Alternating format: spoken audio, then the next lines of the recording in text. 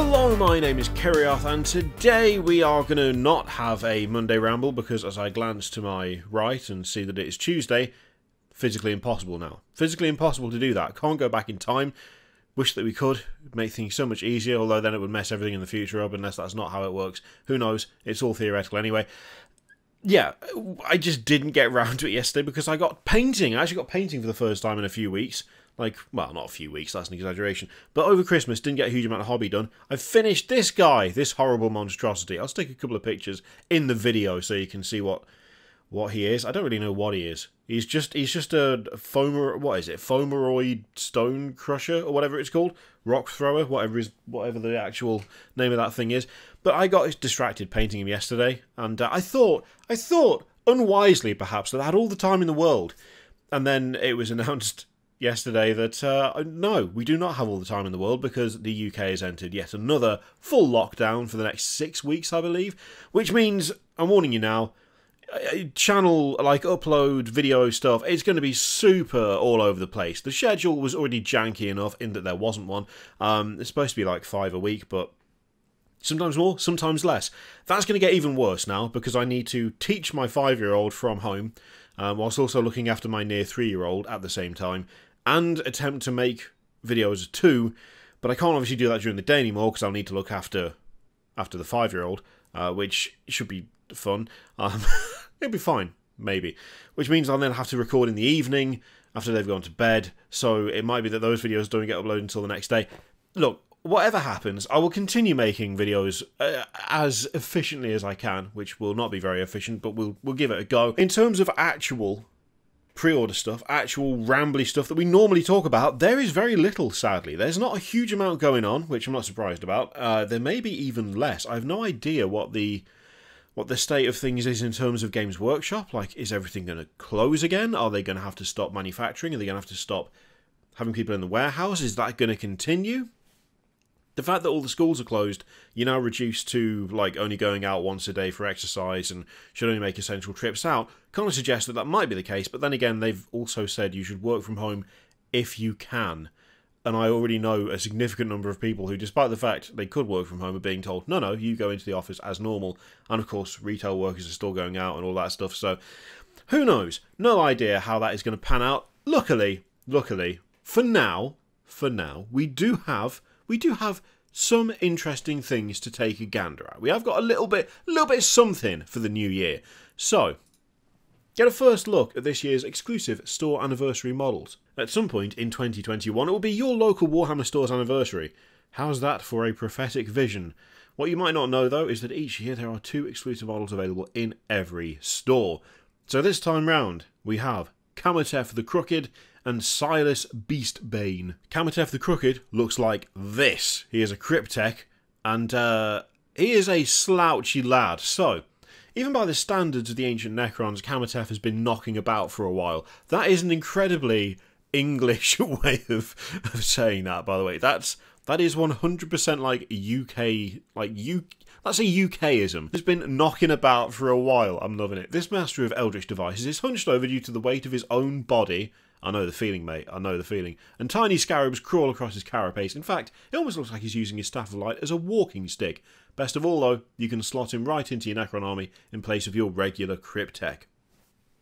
I really like this guy. I really do. He looks a bit creepy, and not necessarily in the kind of uh, in the Eldritch horror Necron way. More just creepy old man creepy. There's something about the position of the arm Actually, that arm that isn't holding the staff, that is either like your stereotypical cartoon granny trying to walk up a flight of stairs with the one arm in front of her, or that's got a little bit of flayed one energy to it. A little bit of, a little bit of kind of the arm just kind of hunched and curled up a little bit. I'm liking the uh, I'm liking the carapace. That's a really cool touch. I'd quite like to see. I think we've got a 360 degree view. No, we haven't. That's a shame because I would like to see kind of how hefty it is at the back. It looks like he's got some scales and stuff draped down the back of him. His little weird orb sticking out of the top there. I'm not I'm not a big fan of that, but everything else I do quite like. He's got an angry old man face, very appropriate. The Staff of Light does look I mean they're kind of excessive weapons as it is. They look a little bit chunky.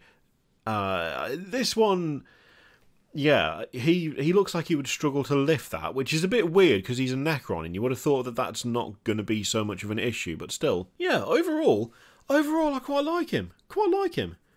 Looks like a real grumpy, grumpy sod, doesn't he? That's like full on get off my lawn. That's that's what he's got going on there. Yeah, like him. Okay, so his name escaped me immediately. Kamatef the Crooked. Yeah, like him. Nice one. We also have Silas Beastbane, who is, of course, a Stormcast Eternal. Now, in fairness, I, I was like, it's going to be a Stormcast, and it was a Stormcast. In fairness, not a Primaris Lieutenant. Not a Primaris Lieutenant there. No Primaris Lieutenant in sight. Nothing to do with Space Marines. So I'm happy about that. Don't get me wrong. Don't get me wrong. I don't think that Space Marines should never ever have another release ever. That's a fairly extreme uh, view to have. But uh, I appreciate that this isn't one of them. I feel like they've got a fair amount. They've got a fair amount to come. Going with the Necron side of things, yeah, I like it. I like it. Give us a break from the lieutenants for a bit. Okay, so Silas Beastbane. Even the Astral Templars respect the. I should probably know who they are. Well, I'm assuming one of the Stormcast Eternal Chambers. Respect the monster killing prowess of Knight Questor Silas Beastbane and with that monstrously heavy head in their hand, it's easy to see why. You can use this model to replace a hero in any Stormcast Eternals army. He also comes with a unique war scroll for use in narrative and open play games. So, he has a Questor axe hammer, which already makes him quality in my in my eyes. There are things I like, things I don't like. Things I like, the axe hammer. 100% on board with that. Absolutely brilliant idea. I mean, I say brilliant idea. They've just they've just put an axe and a hammer together in the finest traditions of all things Warhammer. They've just put one weapon with another weapon. I can't really complain about that. I like it. The armor looks cool. I'm not sure about the dangly bits on the front. Like he's got this kind of tabard thing coming down, whatever you'd call that, over like the front of the armor. Not the not the not the fur, the cloth. It doesn't. It's okay it's all right. I'm not 100% on that. The halo thing behind him, that looks cool. The fur is okay. It's all right. It doesn't really add anything to my mind. I know he's like, I mean, obviously he's got a thing about beasts and killing beasts, and that's fine. But I feel like. I feel like it being under the shoulders is a weird choice, to be honest. I would have actually liked to see him have some sort of fur cape like over the shoulders, not under the shoulder shoulder guards. That's a that's a weird one. That's a weird choice. Because it also like how do the shoulders attach to the fur? Is there like a thing through the fur that goes into the? It yeah I, I don't know. That's that's questionable. That's questionable to my to my taste. Because it's you know entirely subjective, so you might think that looks fine, and that's fine too. But just doesn't quite work for me. The big old like Minotaur head that he's holding is is excellent. There's there's a nice amount of detail on that as well. Yeah, overall okay. I mean, we can't we can't move on without discussing the hair. I'm assuming his mum did that for him. Uh, I don't know who else would would dare try and get away with such a thing. It's an interesting choice, interesting style. I'd replace that head with a helmet. But then you know that I'd do that because it's me. Overall, not bad, not bad. I prefer the Cryptek because overall I think that's a that's an for me that's that's a, a nicer model. This one's fine. Old Silas is fine. Uh, best part is definitely the uh, the axe hammer. Loving the axe hammer. Great idea. Um, there's also a bunch of other stuff. There's like more more swag. You'll have to attend anniversaries themselves to find out how to get your hands on them. So there's like a, a, a, a rucksack thing. There's a book, dice bag, mat. Is that? Assuming those are normal size dice, that is a massive dice bag. Um, some like art print things and uh, and a a little little collapsible tray to roll your dice in. Yeah, okay. Which of those models do you prefer? Do you plan on getting one or both, provided you can actually get to a store that's open, should the stores be open.